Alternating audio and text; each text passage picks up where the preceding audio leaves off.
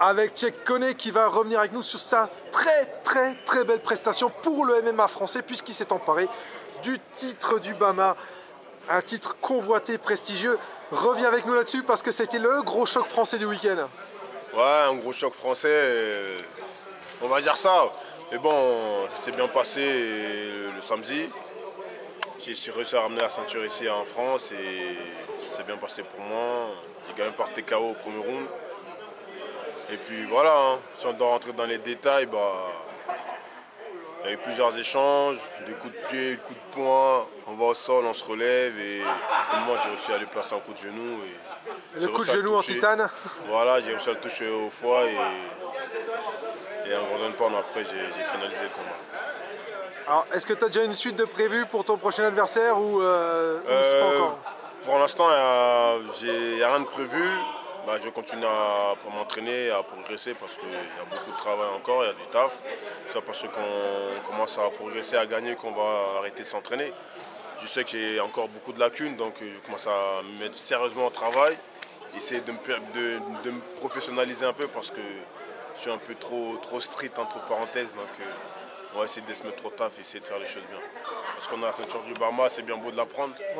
Maintenant, il me reste à la défendre et à prouver à tout le monde que je peux la conserver.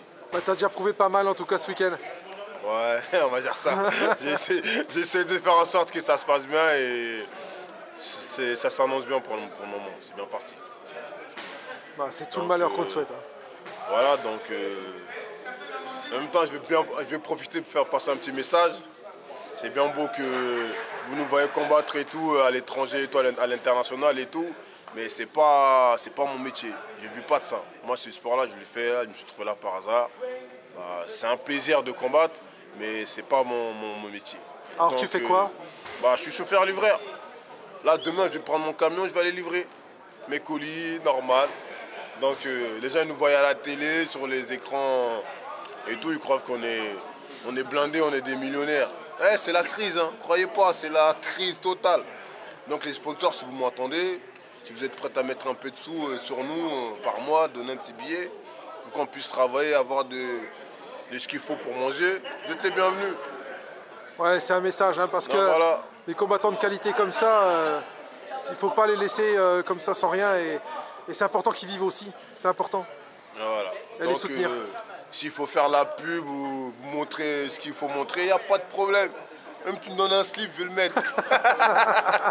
Donc il n'y a pas de problème. Tu veux ça, on va te donner ce que tu veux. Mais tant que tu me donnes ce que moi j'ai besoin, moi je te donnerai ce que toi tu veux. Eh ben parfait. si vous m'entendez, vous êtes les bienvenus. Bah. merci Tchèque. Merci, bon courage pour la suite. Ok, merci bien.